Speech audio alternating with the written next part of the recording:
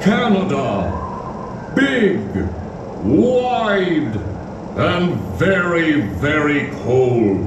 What? Here in the Great White North, it snows 24 hours a day. No, no, no. Every day of the year. Excuse me? Its frozen landscape is dotted with igloos. Uh, hello? Uh, Homes for the vast majority of Canadians. Would Penguins and polar bears prowl the permafrost, poaching and plunder.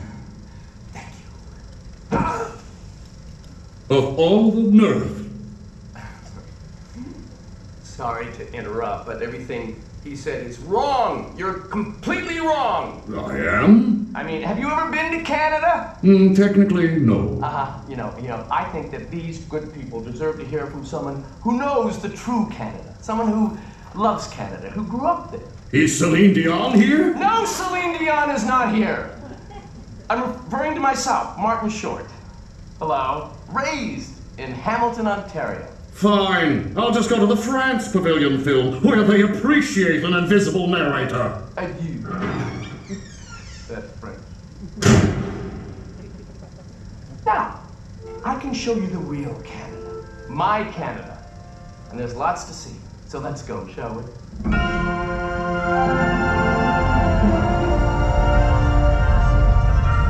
First stop, Niagara Falls. Oh, I know what you're thinking. You're thinking, but Marty, those are in America. And you'd be half right. This half, however, is in Canada. The spectacular Horseshoe Falls.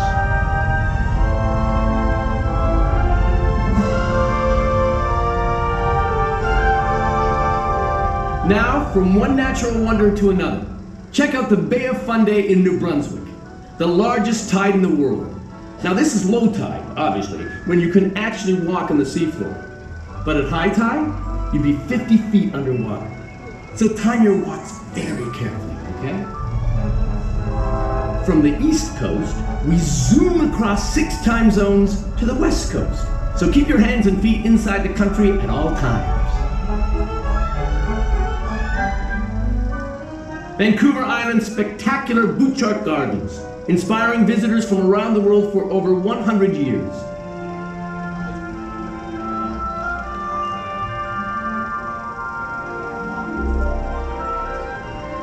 But if you like your plants a little bigger, take a stroll through nearby Cathedral Grove. Some of the trees here are more than 800 years old.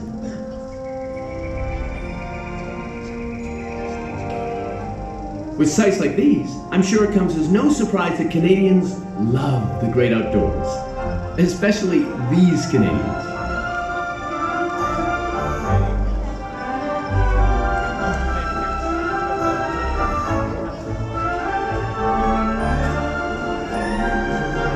I suppose the polar bears are a bit of a giveaway that we do get a little snow in Canada. But you know what? It doesn't slow us down. Not one bit.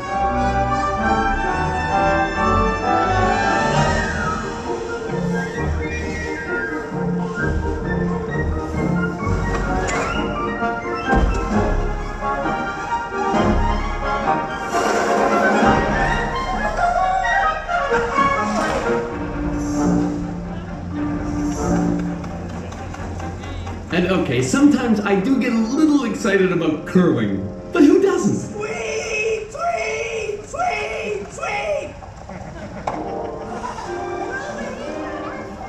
In winter, skating is our favorite form of transportation, like here in the Rideau Canal in Ottawa. Ah, I was practically born on skates. In fact, I just happen to have some footage from my glory days in Pee Wee hockey. Isn't it great that my parents owned a Circle Vision camera? What are the odds? Don't pass it to Marty. Hey, that's me! Oh, he never scores. Well, I think you can clearly see my early potential. Sure, I could have gone pro, the dream of every young Canadian. But I decided to go into comedy instead. Ah! Looks like things are warming up. But that's okay, because when the snow melts, Canadians are just as passionate about warm weather sports.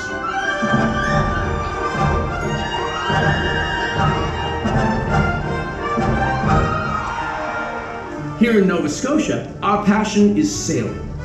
This is the home of the legendary Blue Nose, winner of four international races in her day. We're so proud of her, we put her image on a coin. Check it out the next time you accidentally get a Canadian dime in your change.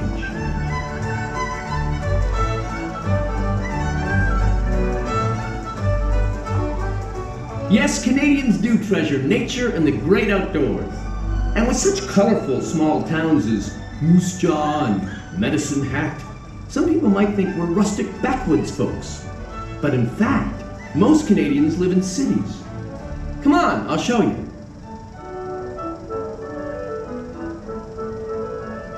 Here's beautiful Victoria, British Columbia. The architecture of this charming city is so inspired by its British heritage that you would swear you were in England.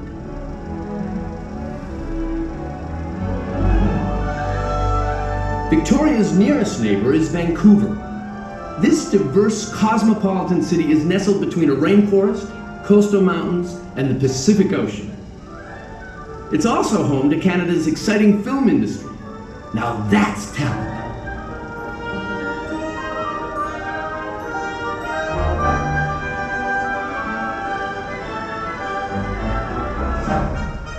Next stop is Calgary, gateway to the Rocky Mountains, where sophisticated city living is right around the corner from outdoor adventure. And if you visit in July, don't forget to pack your chaps and spurs. Yeehaw! Ha ha! The Stampede, in the saddle since 1912, with bucking broncos, wagon races, and bull riding. Let me show you how it's done. Get along, little doggy!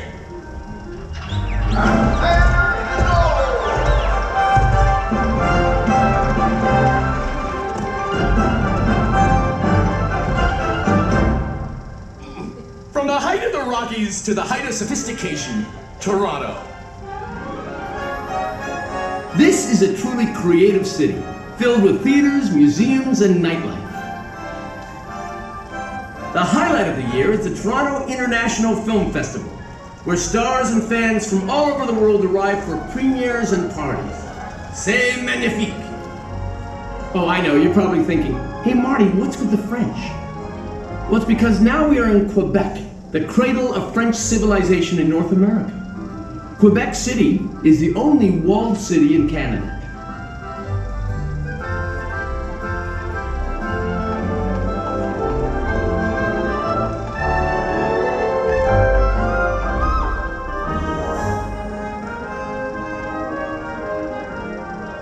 But the largest city in the province de Quebec is Montreal. In fact, it's the largest French speaking city outside of France. Elle est très belle, non? A little help for the monolinguals in the audience. Merci.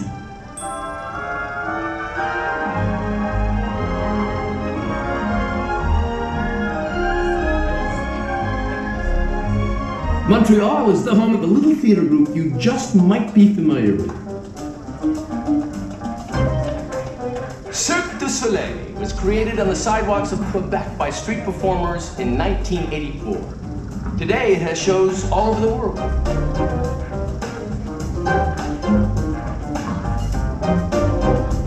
And speaking of talented performers, here are a few other Canadians you might recognize.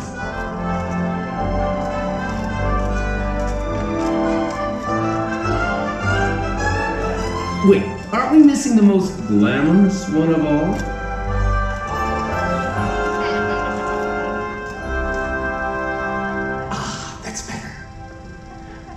You can say entertainers are Canada's most important export. But let me introduce you to the real stars of Canada. The people who make up one of the most diverse countries in the world. From our native people to our newest immigrants, we treasure that diversity. But no matter who we are, we're all proud to be Canadian. This would be a perfect place for a song. I think so, don't you?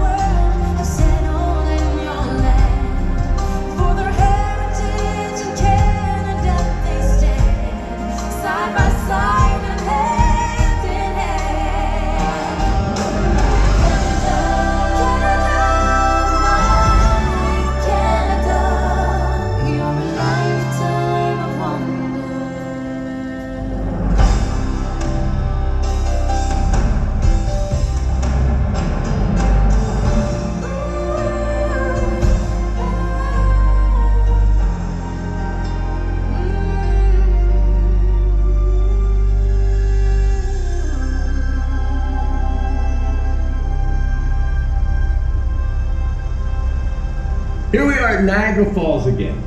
We've come full circle, and sadly, our journey has come to an end.